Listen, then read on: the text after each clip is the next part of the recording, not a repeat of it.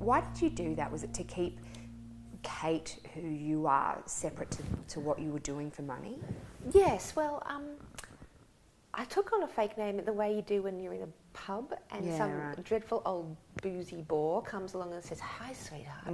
What's your name? And you go, Oh, hi, I'm Alison or Mm. Yeah, you yeah, know. Sandra. Or, so it was just like that. It just came out of my mouth and I went, You know, hi.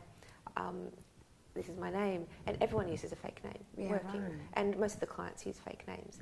They all think it's hilarious because they all call themselves John. Oh dear. Like, I'm a John. They all think this is the funniest thing in the anyway.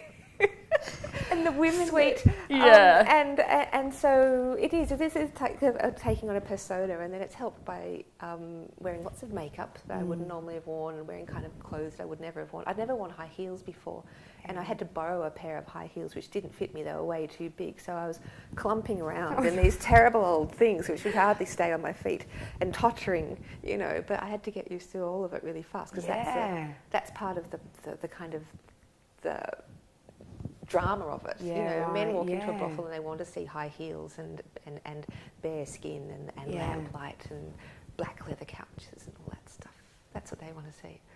And who's in charge there? Is it is it does it go like there's a madam and then she pays you at the end of your shift or Yeah. You know, in modern Australia, they're not really called madams. What they're just they? receptionists. Yeah, right, right, a right. manager. You Yeah. know, it's like everywhere else. So, so there's a there's someone who owns the place, someone who runs it, and someone who's the receptionist. Okay. And um, what happens is in legal brothels, sex workers are subcontractors. So we work for ourselves. Mm-hmm. Um, and the brothel is really more like a hotel service. It's like an accommodation and administration Ah, okay. service. So they take a certain percentage of the money Yeah. to cover those costs. Okay, right. And then what we do in our service is actually our business. Yeah.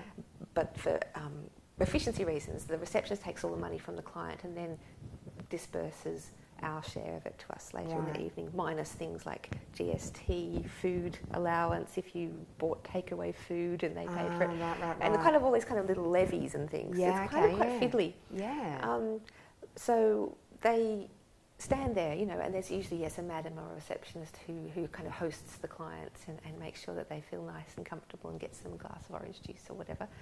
Um, and then there are the ladies, and they work basically as independent contractors. and at that time you were making a fortune really from it, weren't you? At, at points Well, you were- relatively. Yeah, yeah, yeah, I've been yeah. a bookseller before that. Yeah. Yeah. Fourteen dollars an hour.